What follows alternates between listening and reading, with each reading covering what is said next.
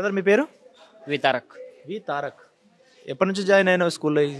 ఈ స్కూల్లో ఐదు నుంచి జాయిన్ అయినా. ఎయిత్ క్లాస్ నుంచి ఇక్కడే చదివావు? అవును. ఎలా ఉంది? గతంలో స్కూల్ పరిస్థితి ఎలా ఉందంటారు? ఇప్పుడు ఎలా ఉందంటారు?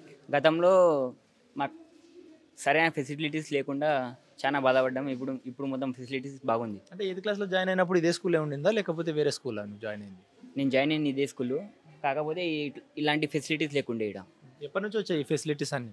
ఈ ఫెసిలిటీస్ టెన్త్ నుంచి డెవలప్ అవుతూ అవుతూ ఇప్పటివరకు కంప్లీట్ అయింది. ఓకే డెవలప్ అవుతూ అవుతూ ఇప్పుడు బాగున్నాయంట. ఏమేమి ఫెసిలిటీస్ ఉన్నాయి మీ స్కూల్ మొత్తంలో కాలేజీలో మాకు ఇక్కడ గ్రౌండ్ ఉండే. మేము జాయిన్ అప్పుడు మా హాస్టల్ ఫెసిలిటీస్ లేకుండే. ఇప్పుడు హాస్టల్ ఫెసిలిటీస్ కూడా ఉంది. ఇప్పుడు పైన రూమ్స్ అంతా లేకుండే. ఇప్పుడు కూడా మొత్తం కట్ కటింగ్ చేసి ప్రతి ఒక్క ల్యాబ్ ఉంది. అన్నీ ఎన్ని ఫస్ట్ సంవత్సరాలు కట్టి దీన్ని? దీన్ని కట్టి టూ వన్ ఇయర్ అవుతుంది. వన్ ఇయర్ అవుతుంది. సగం కట్టిర్రు మళ్ళా వదిలేసిరు మళ్ళా కాంట్రాక్టర్ చేంజ్ అయ్యారంట మళ్ళీ మొత్తం కంప్లీట్ చేసిరు ఓకే మొత్తంగా కొంచెం లేట్ అయినా ఫెసిలిటీస్ అన్ని బాగానే ఉన్నాయంట. బాగానే మరి బయట కార్పొరేట్ స్కూల్ ఆల్రెడీ డెవలప్ అవుతున్నాయి. ఎడ్యుకేషన్ పరంగా అందరూ బయటకే ఎక్కువ ఇంట్రెస్ట్ చూపిస్తున్నారు. సో మీరు ఈ స్కూల్నే ఎంచుకోవడానికి కారణం ఏంటి? ఇక్కడ ఎడ్యుకేషన్ క్వాలిటీ ఎలా ఉందంటారు ఈడ ఎడ్యుకేషన్ లైన్ ఈడ ఎడ్యుకేషన్ బాగుంది.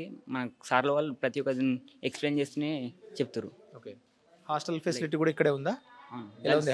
హాస్టల్ ఫెసిలిటీస్లో ఫుడ్ పరిస్థితి ఎలా ఉందంట ఫుడ్ బాగుంది. బాగానే ఉందా? బాగుంది అంటే మనం ఇంట్లో ఫుడ్ లాగానే ఉంటుందా? లేకపోతే మామూలుగా చేయాలంటే చేస్తారన్నట్లే ఉంది బాగుంటుంది. బాగానే ఉంటుంది.